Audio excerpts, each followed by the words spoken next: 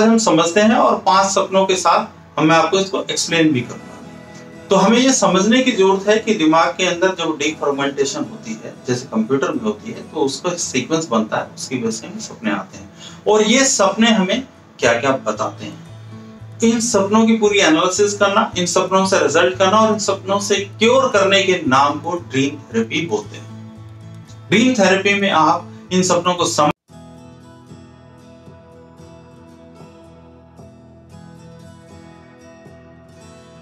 नमस्कार दोस्तों, हमारे channel our brain our life में आपका स्वागत है। मेरा नाम है डॉक्टर जेडी भार्गव। आज हम बात करने जा रहे हैं ड्रीम थेरेपी को लेकर। कि ड्रीम थेरेपी क्या होती है? अब पहले हमें दो तीन चीज़ें समझनी है इसमें। ड्रीम थेरेपी क्या होती है? ये हमारे को हेल्प कैसे करती है? और इससे हम अपनी लाइफ में क्या क्या चेंजेस कर सकते हैं? सबसे पहला मेरा एक क्वेश्चन है ड्रीम थेरेपी के लिए हमें यह समझना पड़ेगा ड्रीम्स क्या तो सपने, क्या सबको आते हैं? सपने इस दुनिया में सबको आते हैं, सिवाय दो लोगों को और आप कहेंगे, दो लोग कौन से एक वो जो नशे में सो गए। आपने बहुत सारे पैक डाल लिए अपने अंदर और सो गए। आपका कॉन्शियस माइंड वैसे ही ड्यू टू ड्रग डाउन हो गया है। तो इस वजह से आपको पता ही नहीं चलेगा। सपना आएगा या नहीं आएगा, आपको महसूस ही नहीं होगा। दूसरा ऑप्शन ये है कि जो आदमी, मान लो हर एक आदमी की एक एज होती है, उसी के हिसाब से वो सोता है। और जो एज होती है, उसके हिसाब से मान लो उसको सात घंटे सोना है, पर वो पाँच घंटे ही सो रहा है। तो conscious mind already tired position पे है और वो ऐसा ब्रेक इवन पॉइंट से नीचे काम कर रहा है। तो वो अपने आप ही आपको बार बार नींद में रखेगा और जैसे ही आप सोगे क्योंकि वो टायर्ड है, आप तुरंत सो जाओगे। उस केसेस में भी आपको सपना महसूस नहीं होता। आते हैं, महसूस नहीं होते। ये दो चीज़ें हैं, दो लोगों को सपने महसूस नहीं होते। आते सभी को। लेकिन क्या होता है 95 परसेंट जो सपने हैं, हम सुबह तक भूल जाते हैं। और पाँच परसेंट अगले दो, तीन, चार दिन याद रहते हैं। और वो भी पाँच परसेंट में से एक आधा परसेंट ऐसा है जो हम काफ़ी लंबे समय तक याद है। तो ये प्रोसेस हो गया, जिसकी वजह से। तो क्या ये हमें हेल्प करता? बिल्कुल हेल्प करता। इसके हम दो चीज़ें हैं, ये सपने आते कैसे हैं, पहले मैं ये एक्सप्लेन करता हूँ। दूसरा, कि ये क्या कोई एडिशनल पावर है हमारे पास? जो हमारा सबकॉन्शियस माइंड हमें बताने की कोशिश कर रहा है थ्रू द ड्रीम्स और ड्रीम थेरेपी क्या है? तो ये किस किस के लिए अच्छा है? जो स्टूडेंट्स ऑलरेडी इसमें प्रैक्टिस कर रहे हैं साइकोलॉजी फ़ील्ड में, उनके लिए ये वीडियो बहुत ही अच्छा है, ताकि वो अपना नॉलेज को एनहांस कर सकते दूसरा, जो अभी बीए कर रहे हैं एमए कर रहे हैं, उनके लिए बहुत अच्छा देकर learn the dream therapy with us तीसरा, जो लोग नॉर्मल पब्लिक जो आप सब लोग हमारे सब्सक्राइबर हैं आप सबके लिए इसलिए अच्छा है क्योंकि आप ये अंडरस्टैंड कर सकते हो कि इस ड्रीम से हमें क्या समझ है। तो आज मैं पाँच कॉमन ड्रीम भी आपको बताने जा रहा हूँ। ऐसे कॉमन ड्रीम जो आपकी लाइफ को चेंज कर सकते हैं। और अगर आपने उनको इग्नोर किया तो दूसरी तरफ़ चेंज कर सकते हैं नेगेटिव बात में तो आज आपको पाँच ड्रीम बताने जा रहा हूँ। कॉमन ड्रीम दूसरा आज मैं आपको ये बताने जा रहा हूँ कि ड्रीम थेरेपी क्या होती है। तीसरा, ये ड्रीम्स आते क्यों हैं?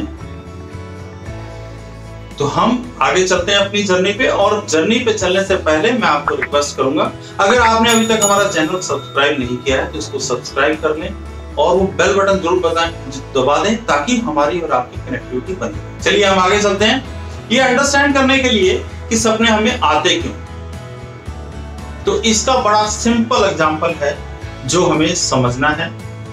एक कंप्यूटर की लैंग्वेज में, क्योंकि कंप्यूटर दिमाग से ही निकली हुई छोटी सी चीज़ है। कंप्यूटर एक छोटा काम करता है, दिमाग बहुत बड़ा काम करता है। एक वर्ड यूज़ किया होता है कंप्यूटर की लैंग्वेज में? जो इंजीनियर है कंप्यूटर के, वो अच्छे से समझते हैं, इसे डीफ्रेगमेंटेशन डीफ्रेगमेंटेशन में आपके हार्ड ड्राइव के स्पेस को एडजस्ट किया जाता है और उसी स्पेस के हिसाब से वो हार्ड ड्राइव की लाइफ बढ़ जाती है। वैसे ही जब हमें सपने आते हैं तो हमारा सबकॉन्शियस माइंड हमारे ब्रेन के अंदर जो रिकॉर्ड करने की चीज़ें उनको रिकॉर्ड करता है और रिकॉर्ड करने वाली चीज़ों को एक क्रमवार, जिसे कहते हैं सीक्वेंस से एडजस्ट करता है। इस वजह से हमें सब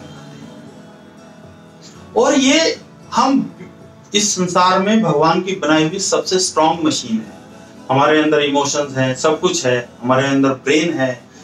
ये माइंड और ब्रेन शायद जानवरों में नहीं है, वरना जानवर पे राज करते हैं। वो हमसे ज़्यादा शक्तिशाली होते हैं। तो हमें ये पता है कि जैसे अर्थक्वेक आता है तो जानवर को पहले पता लग जाता है कि अर्थक्वेक आने वाला है। वैसे ही हमें भी पता लग जाता है, इन सपनों के द्वारा हमारे भविष्य में क्या होने वाला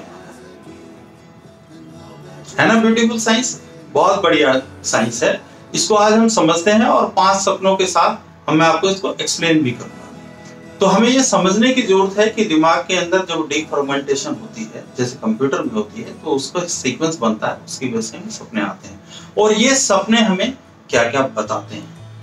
इन सपनों की पूरी एनालिसिस करना, इन सपनों से रिज़ल्ट करना और इन सपनों से क्योर करने के नाम को ड्रीम थेरेपी बोलते हैं। ड्रीम थेरेपी में आप इन सपनों को समझ के, इन सपनों के हिसाब से क्यों आते हैं और उनका क्या क्या करेक्शन हो सकता है, वो आप यूज़ करते हो। तो जो स्टूडेंट्स हमसे सीख रहे हैं, उनको मालूम है ड्रीम थेरेपी कितनी यूजफुल है आपकी लाइफ के लिए। तो हम अभी आगे चल रहे हैं। पहला ड्रीम ले रहे हैं, जो मैंने कहा था कॉमन ड्रीम अभी तक आपको पता लग गया ड्रीम थेरेपी क्या है।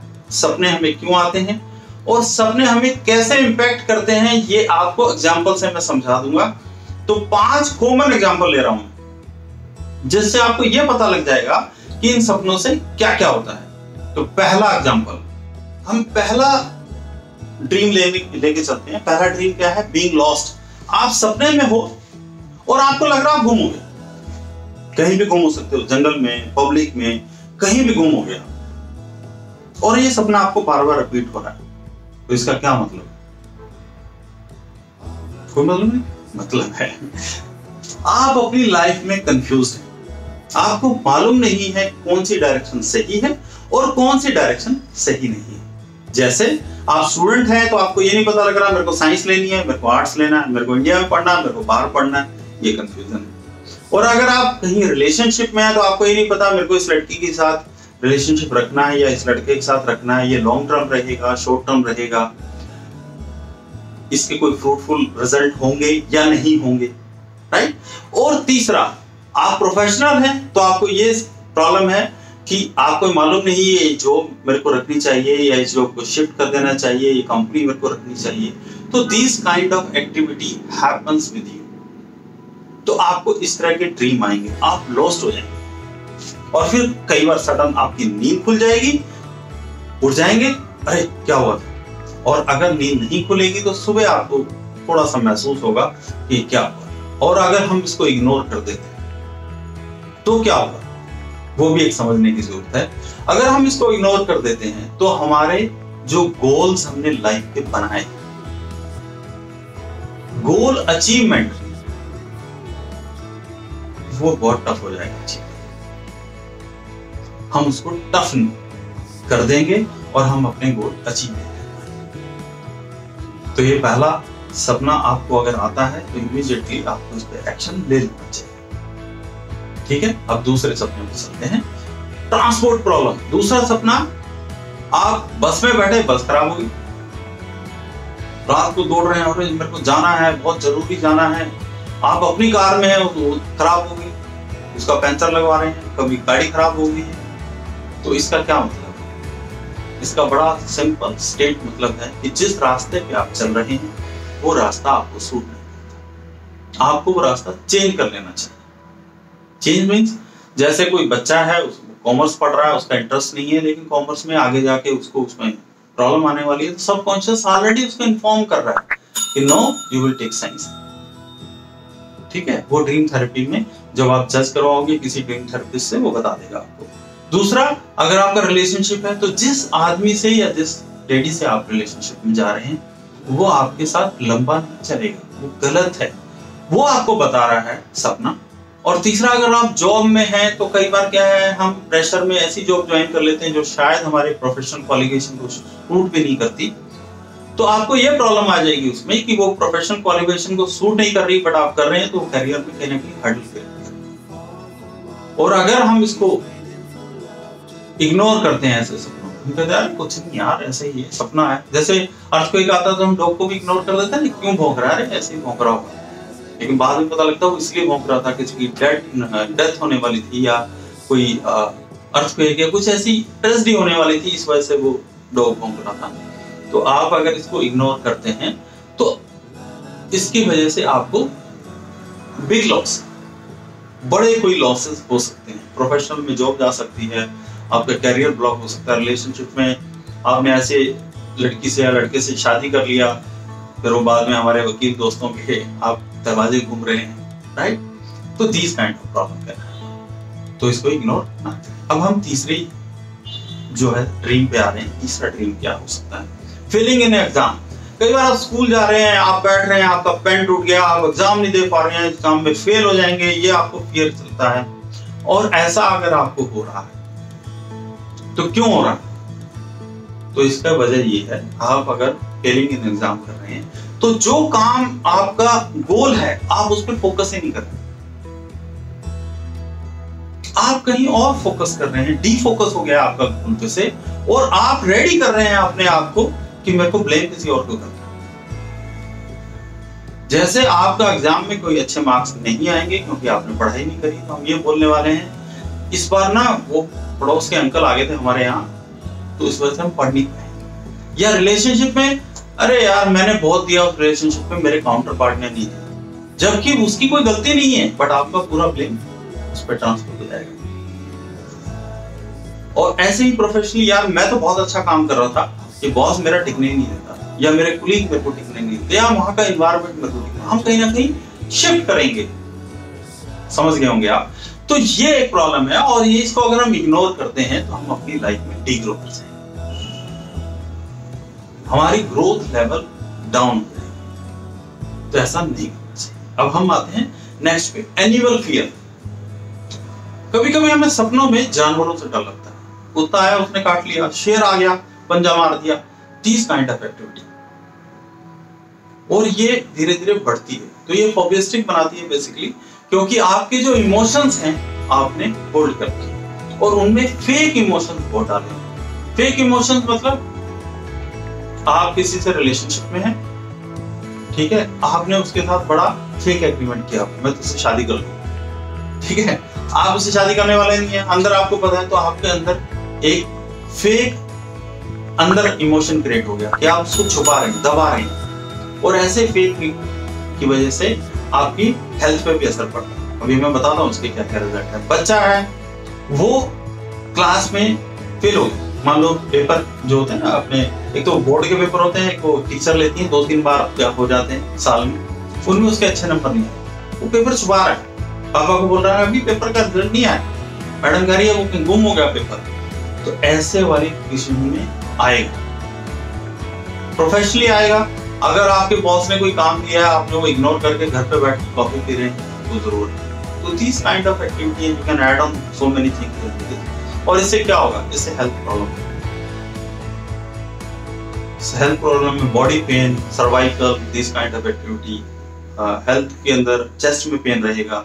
और धीरे धीरे ये इतना बड़ा हो सकता है कि हार्ट अटैक और कैंसर तक जाता है। तो this kind of activities are there हमें ये फेक क्रिएशन नहीं करना चाहिए। कोशिश करनी चाहिए कि हम ट्रांसपेरेंटली दूसरे को जो भी हमारे मन में बता दें। फेक ना रखें। अब आगे चलते हैं, अगले पॉइंट पे which is the fifth point talking to a dead person हम लाइफ में कई बार उन लोगों से बात करते हैं, जिन लोगों से हमारा रिश्ता खत्म जो लोग इस दुनिया में नहीं है। और उनसे हम इमोशन शेयर करते हैं। ऐसा काफ़ी लोगों में आया हुआ। उन लोगों के साथ ही बात करना, उन लोगों से दर्द शेयर करना। कई बार खाली वो दिखते हैं, हमें बड़ा कंफर्ट फील होता है। ये सारी एक्टिविटी करते हैं। तो ऐसी क्यों होती है? ऐसी इसलिए होती है कि जो भी आप इन्वायरमेंट में रह रहे हैं, आप ऐसे लोगों के साथ रह रहे हैं जिनके ऊपर आपको कोई विश्वास नहीं। आपको लगता है फेक है बट मेरे को रहना पड़ रहा है। तो आप कोई भी इमोशन वहाँ रिलीज़ नहीं कर आप सारे इमोशन होल्ड करके बैठे हर रिलेशनशिप टीचर्स आपके स्टूडेंट हैं तो टीचर फेक लग रहे होंगे उसको।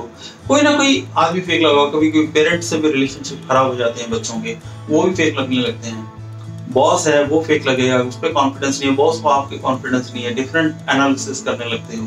तो फेक हो जाते हैं फेक और अगर ये फेक हो जाते हैं, तब हमें ऐसा लगता है और ये क्या करता है? ये आपका एंजाइटी लेवल को बढ़ा देता है। एंजाइटी लेवल बढ़ने के बाद ये आपके हाई स्ट्रेस को बढ़ा देता है और फिर चेस्ट में हैवीपन फील होता है। अगेन आप बीमारियों की तरफ़ चले जाते हैं वेट लूज कर जाएँगे, बहुत सारी प्रॉब्लम हो जाएँगी वेट गेन कर जाएँगे। ये भी एक हो सकता है इसमें, ये सारी चीज़ें करते रहते हैं। तो आज का जो वीडियो था, ये आपको कैसा लगा? ये हमें ज़रूर बताइए कमेंट में। और अगर ये आपको अच्छा लगा तो ज़रूर लाइक करें शेयर करें। और हमारे चैनल को ज़रूर सब्सक्राइब करें। आज हमने आपको बताया ड्रीम थेरेपी क्या होती है और कैसे कैसे सपने हमारे को लाइफ में इम्पैक्ट करते हैं। इस बारे में कोई भी क्वेरी हो आपकी और ब्रेन और लाइफ में आप डालिए, मैं ज़रूर कोशिश करूँगा पूरे आपके क्वेश्चन का आंसर बहुत बहुत धन्यवाद। जल्दी हम नई वीडियो में मिलेंगे। आप लोगों के साथ तब तक के लिए।